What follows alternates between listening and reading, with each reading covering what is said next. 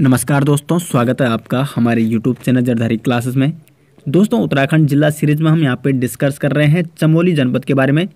चमोली जनपद के अभी तक तीन पार्ट आ चुके हैं और ये आज पार्ट फोर है चमोली जनपद का, जिसमें हम यहाँ पे डिस्कस करेंगे चमोली जनपद के प्रसिद्ध मेलों के बारे में। अभी तक चमोली जनपद के बारे में बहुत सारी चीज़ों पर डिस्कस कर चुके हैं और आज ये अंतिम पार्ट है पार्ट फोर और इसके बाद इसका एमसीक्यू प्रैक्टिस सेट आ जाएगा चमोली जनपद का। तो चलिए दोस्तों, आज की वीडियो शुरू करते हैं। दोस्तों तो चमोली जनपद में जितने भी प्रसिद्ध मेले हैं और प्रमुख यात्राएँ हैं, वो सारे हम इस वीडियो में डिस्कस करेंगे। अब वैसे आज मैप की ज़रूरत तो है नहीं, क्योंकि मैप के माध्यम से जो अदर चीज़ें, जो समझानी थी आपको, जैसे नदी सिस्टम हो गया, प्रसिद्ध मंदिर हो गया, वो मैंने आपको मैप के माध्यम से समझा दी है। तो यहाँ पे आपको सब चीज़ें पता चल गई कौन सा कहाँ पे है, किस स्थान की लोकेशन कहाँ पे है। और यहाँ पर मैं ये बताऊँगी, कौन सा मेला कहाँ लगता है तो वो आपको मैप में खुद देखना है। और मैप तो आपके पास जो होगा, हमने बना रखा है जो तो सबसे पहले यहाँ पे गोचर मेले की बात कर लेते हैं। गोचर आपको पता है कहाँ है? चमोली जनपद में है। तो गोचर मेला लगता है, चमोली जनपद में लगता है आपका गोचर मेला। और ये जो गोचर मेला है, ये एक प्रकार का व्यावसायिक मेला है। यानी यहाँ पे बहुत सारी खरीदारी होती है, काफ़ी दिनों तक ये मेला चलता है। बहुत सारी दुकानें यहाँ पे लगती है। तो व्यवसाय के लिए काफ़ी इम्पोर्टेंट है, इसलिए इसको ये एक प्रसिद्ध ऐतिहासिक व्यावसायिक मेला है। अब इसको ऐतिहासिक इसलिए कहा गया है कि काफ़ी टाइम से यानी इतिहास से ये चलता आ रहा है, ये गोचर मेला। और इसकी शुरुआत जो हुई थी 1943 में, तत्कालीन यहाँ पे डिप्टी कमिश्नर थे बर्नेडी तो इन्होंने गोचर मेले की शुरुआत की और इस मेले का आयोजन कब किया जाता है? तो 14 से 20 नवंबर के बीच इस मेले का आयोजन होता है। तो एक तो आपको ये ध्यान रखना है और आयोजन कब होता है और कहाँ लगता है ये मेला? गोचर में, चमोली में। दूसरा मेला है यहाँ पे हरियाली पूड़ा मेला। तो ये भी लगता है आपका चमोली जनपद में। चमोली जनपद में ये कहाँ लगता है? तो नोटी गाँव में लगता है। नोटी गाँव के बारे में अभी आपको मैं आगे डिटेल्स बताऊँगा। तो नोटी गाँव में लगता है यहाँ पे हरियाली, पोड़ा, मेला और कब लगता है? ये चैत्र मास में ये लगता है। और ये हरियाली, पोड़ा, मेला है, ये विवाहित कन्याओं का एक उत्सव माना जाता है। क्योंकि यहाँ के लोग नोटी गाँव में नंदा देवी का मायका माना जाता है। यहीं से नंदा देवी यात्रा की शुरुआत होती है। तो नंदा देवी को एक कन्या है नोटी गाँव वालों की। और वहाँ पे क्या होता है? नंदा देवी क्या माना जाता है? ध्यानी माना जाता है। तो इसीलिए यहाँ पे हरियाली पूड़ा मेला भी क्या है, एक ध्यानियों का त्यौहार माना जाता है, ध्यानियों का उत्सव यहाँ पे ये होता है, हरियाली पूड़ा मेला। तो आपको ध्यान रखना है, हरियाली पूड़ा मेला नोटी गाँव में लगता है, चमोल जनपद में, जो कि विवाहित कन्याओं यानी ध्यानियों से संबंधित है। विवाहित कन्याओं को क्या कहते हैं गढ़वाल में? ध्यानी कहते हैं। मतलब जहाँ उनका मायका होता है, वहाँ उन कन्याओं को क्या कहा जाता है? ध्यानी कहा जाता है। तीसरा जो मेला है, वो है तिमुंडा मेला। तिमुंडा मेला लगता है आपका चमोली जनपद के जोशीमठ में एक नरसिंह मंदिर है। इसके बारे में, नरसिंह मंदिर के बारे में आपको डिटेल्स बताया था, मंदिरों वाली जो पार्ट थ्री था चमोली जनपद का। उसमें मैंने आपको नरसिंह मंदिर के बारे में डिटेल्स बताया था, जोशीमठ में ये स्थित है, जो कि बद्रीनाथ मंदिर का शीतकालीन पूजा स्थल है, यही नरसिंह मंदिर। तो इसी नरसिंह मंदिर में जब बद्रीनाथ धाम के कपाट खुलने वाले होते हैं, उससे पहले आयोजित किया जाता है तिमुंडा मेला। ना बद्रीनाथ धाम के कपाट खुलने से पूर्व ये आयोजित किया जाता है। और यहाँ पे इस मेले की प्रसिद्धि क्या है तो यहाँ पे एक तिमुंडा वीर का पसुआ। यहाँ पे जब ये मेला का आयोजन होता है तो यहाँ पे तिमुंडा वीर का पसुआ पसुआ मतलब जिसपे वो अवतरित होते हैं, तिमुंडा वीर। तो वो क्या करते हैं, यहाँ पे बकरी का कच्चा मांस, कच्चा चावल और गुड़ और तीन घड़े पानी पी जाते हैं। तो ये इस मेले की प्रसिद्धि है, तिमुंडा मेले की। वैसे मैं एक स्पेशल वीडियो बना चुका हूँ मेलों पर जिसमें मैंने गढ़वाल के और कुमाऊँ के सभी प्रसिद्ध मेलों के बारे में। वहाँ पे जो भी इंपॉर्टेंट मेले थे, जो एग्ज़ाम की दृष्टि से काफ़ी इंपॉर्टेंट है, उनके बारे में डिटेल्स चर्चा की थी। तो वहाँ पे मैंने चमोली जनपद के इस तिमुंडे मेले के बारे में भी बताया था इसके पीछे एक स्टोरी है कि यहाँ पे एक तिमुंडा वीर नामक राक्षस हुआ करता था इस क्षेत्र में। और इस क्षेत्र के वासी यहाँ पे बहुत परेशान हो गए थे, इसलिए इन्होंने माता रानी की पूजा की और माता रानी प्रसन्न हुई तो उन्होंने उस राक्षस को, वो उस राक्षस को क्या करना चाहती मारना चाहते थे तो फिर राक्षस ने उनसे क्षमा याचना मांगी और कहा कि मैं इनको कभी तंग नहीं करूँगा। तो माता रानी ने क्या कहा? गाँव वालों को कहा कि तुम इसको क्या देना? प्रत्येक साल यहाँ पे इतना ये एक बकरी का कच्चा मांस उसको देना पड़ेगा, चावल देने पड़ेंगे और तीन घड़े पानी, गुड़, ये सारी सामग्रियाँ उसको प्रत्येक साल देनी होगी, तब जाके वो खुश रहेगा और वो कभी परेशान नहीं करेगा। तो इस प्रकार से स्टोरी वहाँ पे मान्यताओं के अनुसार तो आप पढ़ सकते हो, सर्च कर सकते हो, अच्छी स्टोरी है। तो इसलिए यहाँ पे तिमुंडा मेले का आयोजन किया जाता है। चौथा यहाँ पे नोठा कोथिक नोठा कोथिक का आयोजन कहाँ किया जाता है? चमोली जनपद के आदि बद्री मंदिर में।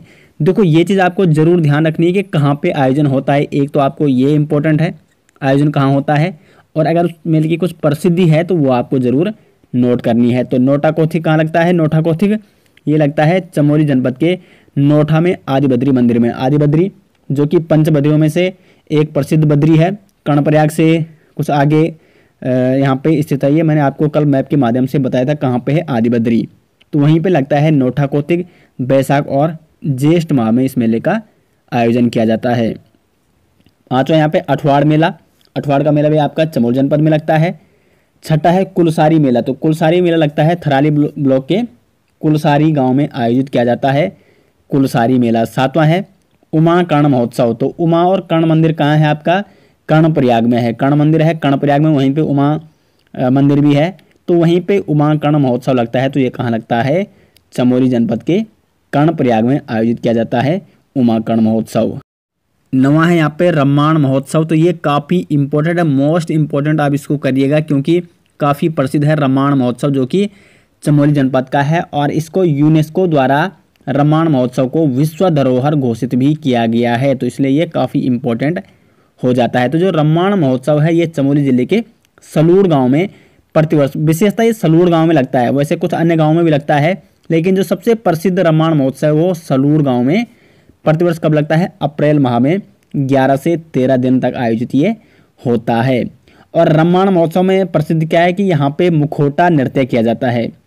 मुँह पे मुखोटा कर, बाँध के मुखोटा लगा के वहाँ पर नृत्य किया, जाता है। तो रामायण महोत्सव किस लिए प्रसिद्ध है? तो मुखोटा नृत्य के लिए प्रसिद्ध है और रामायण उत्सव में रामायण का पाठ भी किया जाता है। रामायण से आप याद कर सकते हो रामायण। तो रामायण महोत्सव में किसका पाठ किया जाता है? रामायण का पाठ भी किया जाता है और इसमें काफ़ी एक प्रसिद्ध जो वाद्य यंत्र होते हैं इसमें ढोल दमाऊ होते हैं इसमें काफ़ी तो ढोल दमाऊ तो प्रसिद्ध है। बाकी इसमें झांझर भी होता है मंजीरा भी होता है। वाद्य यंत्रों के बारे में अगर आप देखना चाहते हैं स्पेशल उत्तराखंड के प्रमुख वाद्य यंत्र तो उससे मैंने स्पेशल एक वीडियो बना रखी है।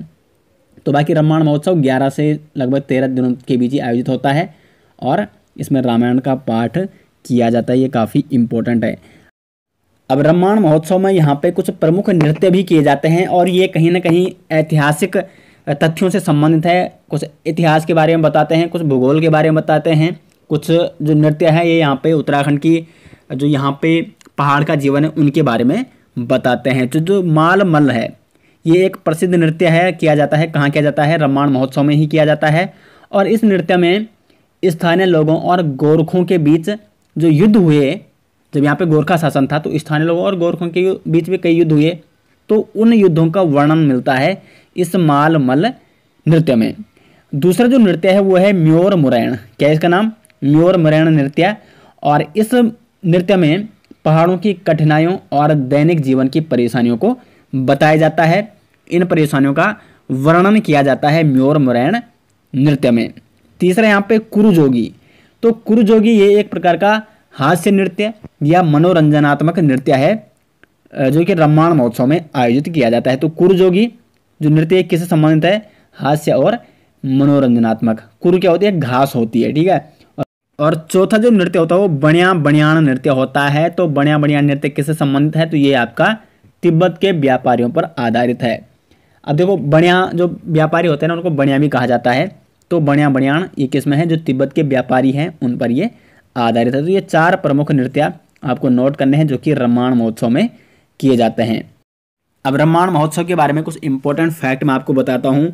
तो यहाँ पे वर्ष 2008 में एक तो इंदिरा गांधी राष्ट्रीय कला केंद्र दिल्ली में क्या हुआ? यहाँ पे रम्माण उत्सव का आयोजन किया गया। तो कब किया गया दिल्ली में? 2008 में।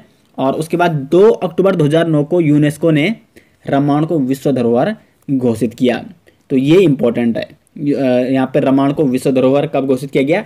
2 अक्टूबर 2009 को यूनेस्को द्वारा। क्योंकि काफ़ी प्रसिद्ध ये मतलब संस्कृति, उत्तराखंड की जो संस्कृति है, उस दृष्टि से काफ़ी इंपॉर्टेंट है रामायण महोत्सव, जो कि चमोली जनपद में आयोजित किया जाता है। और उसके बाद क्या है 2016 में जो गणतंत्र दिवस पर 26 जनवरी 2016 को गणतंत्र दिवस पे परेड निकलती है, एक रैली निकलती है, जैसे इस बार क्या था, केदारखंड था दो हज़ार इक्कीस में, मैंने आपको करंट अफेयर्स वाली वीडियो में बताया था और इसके बारे में मैंने वहाँ पे आपको बताया था। तो जो 2016 की 26 जनवरी 2016 की जो झांकी थी उत्तराखंड की, वो कौन थी तो वो रामायण महोत्सव पर ही आधारित थी। तो 2016 में गणतंत्र दिवस के मौके पर उत्तराखंड राज्य की ओर से रामायण महोत्सव की झांकी प्रदर्शित की गई थी। तो ये इंपॉर्टेंट फैक्ट है जो आपको नोट करने हैं। उसके बाद ये प्रमुख क्या हो गए? मेले और महोत्सव हो गए। अब बात करेंगे यहाँ पे चमोली जनपद की जो प्रमुख यात्रा है। तो सबसे प्रसिद्ध यात्रा कौन है चमोली जनपद की? नंदा देवी राजात यात्रा। तो नंदा देवी राजात यात्रा जो कि प्रत्येक बारह वर्ष में आयोजित की जाती है। और यहाँ पे इससे पहले नंदा देवी राजात कब आयोजित की गई? तो वो की गई थी 2014 में। और प्रत्येक बारह वर्षों बाद आयोजित होती है तो जो नेक्स्ट यात्रा होगी दो हज़ार छब्बीस में हो सकती है। तो 2026 में इससे पहले लास्ट में कभी कब हुई थी? 2014 में तो ये भी आपको नोट करना है। अब देखो जो नंदा देवी राजत यात्रा है ये है नंदा देवी से संबंधित है। नंदा देवी जो पार्वती हैं उन्हीं को नंदा देवी माना जाता है। तो नंदा देवी का जो मायका माना जाता है वो चमोली जनपद में चमोली जनपद का आ, कौन है? नोटी गाँव। तो वहाँ पे नंदा देवी की क्या माना जाता है? मायका माना जाता है और ससुराल उनका कहाँ है? हिमालय में है, कैलाश में। कैलाशपति जहाँ रहते हैं, भगवान शिव। तो वहाँ उनका ससुराल है। तो इस जो ये नंदा देवी राजात यात्रा है, इसमें क्या होता है कि नंदा देवी यानी जो पार्वती होती है नंदा देवी को मायके से ससुराल भेजा जाता है। तो यहाँ पे नोटी गाँव से यात्रा शुरू होती है और कहाँ पहुँचती है ये? होमकुंड पहुँचती है। होमकुंड के आगे क्या है? बहुत सारे पर्वत हैं, कुल के वो हिमालय क्षेत्र, हिमालय का वो हिस्सा है। तो यहाँ पे नंदा देवी राजात यात्रा चमोली के कासवा गाँव के पास स्थित नोटी से शुरू होती है, वह होमकुंड तक ये पहुँचती है और टोटल ये जो मार्ग है लगभग 280 किलोमीटर की ये यात्रा है, जिसमें कितने दिन लगते हैं? लगभग 19-20 दिन में ये यात्रा क्या हो जाती है? कंप्लीट हो जाती है 19-20 दिन लगते हैं इस यात्रा में और 280 किलोमीटर इसमें चलना पड़ता है। अब देखो, इस जो नंदा देवी राजात यात्रा है, इसमें एक प्रसिद्ध क्या है? चार सिंह वाला खाड़ू, यानी चौसिंग्या खाड़ू। चौसिंग्या खाड़ू उस जब यात्रा आयोजित होने वाली होती है तो कहीं ना कहीं ये चौसिंग्या खाड़ू वहाँ पे गाँव में मिल जाता है आसपास के गाँव में। चार सिंह वाला खाड़ू यानी जिसको चौसिंग्या खाड़ू कहा जाता है।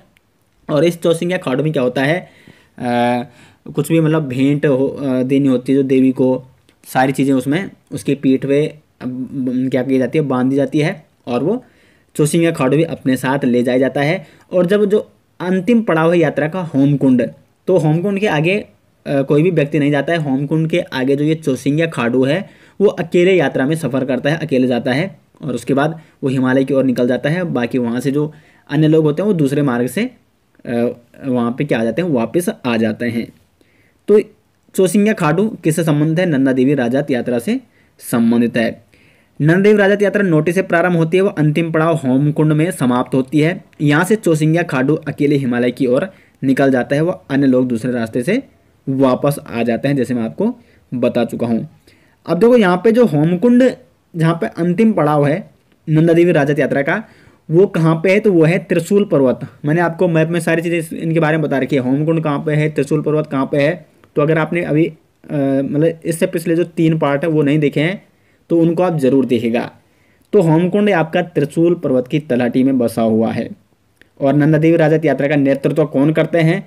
तो माना जाता है कि जो कासुआ गाँव है, वहाँ पे, देखो तो चांदपुर, चमोली के चांदपुर गढ़ में आपको पता है कि पंवार वंश की जो नींव रखी गई, वो चांदपुर गढ़ में रखी गई थी। पंवार वंश में एक बहुत शक्तिशाली राजा हुए, अजयपाल, जिन्होंने चांदपुरगढ़ से राजधानी स्थानांतरित की और उन्होंने बाद में श्रीनगर अपनी राजधानी स्थापित किए, मैं आपको इतिहास में कई बार बता चुका हूँ। तो अजयपाल का एक भाई था, जिस, जो वहीं चांदपुरगढ़ रहा। यानी अजयपाल तो चांदपुरगढ़ से निकल गया और उसने बाद में श्रीनगर बसाई अपनी राजधानी। लेकिन अजय पाल का एक छोटा भाई था, जो वहीं रह गया। तो उसी अजय पाल के छोटे भाई के वंशज हैं यहाँ पे कांसुआ गाँव में। तो मतलब उस राजघराने के जो राजकुंवर हैं, वही इस यात्रा का क्या करते हैं अभी भी? नेतृत्व करते हैं। तो नंदा देवी राजा यात्रा का नेतृत्व कौन करते हैं? उसी राजघराने के, यानी जो पंवार वंश था अजयपाल का, वो छोटा भाई था। तो उन्हीं के यहाँ पे वंशज इस यात्रा का क्या करते हैं? नेतृत्व करते हैं। तो यहाँ पे यात्रा भी कंप्लीट हो गया और आपका मेले भी कंप्लीट हो चुके हैं और इसमें प्रशासनिक ढांचा हम आपको पहले पार्ट वन में ही बता चुके हैं। तो लगभग सभी टॉपिक कंप्लीट हो चुके हैं। अब देखो, कुछ यहाँ पे जैसे प्रमुख संस्थान, ये इस पर मैं स्पेशल वीडियो बना रखा हूँ तो आप देख सकते हैं। उत्तराखंड के प्रमुख संस्थान, उस समय चमोली जनपद के सभी संस्थान बताए गए हैं। वन्य जीव विहार हो गए और राष्ट्रीय उद्यान, इस पर भी मैंने स्पेशल वीडियो बना रखी है तो आप वहाँ से उनको नोट कर सकते हैं। और जो भी अन्य बहुत सारे टॉपिकों पर मैं क्या बना चुका हूँ स्पेशली वीडियो पहले ही बना चुका हूँ। तो आशा करते दोस्तों, आपको इस सीरीज़ पसंद आ रही होगी। आपको समझ में आ रहा है कैसे आपको ये सीरीज़ लग रही है कमेंट बॉक्स में अपने राय ज़रूर दें। और वीडियो को अधिक से अधिक शेयर ज़रूर करें ताकि सभी अभ्यर्थी जो यहाँ पर तैयारी करना चाह रहे हैं, वो हमसे जुड़ सकें। तो मिलते हैं दोस्तों नेक्स्ट वीडियो के साथ, तब तक के लिए धन्यवाद।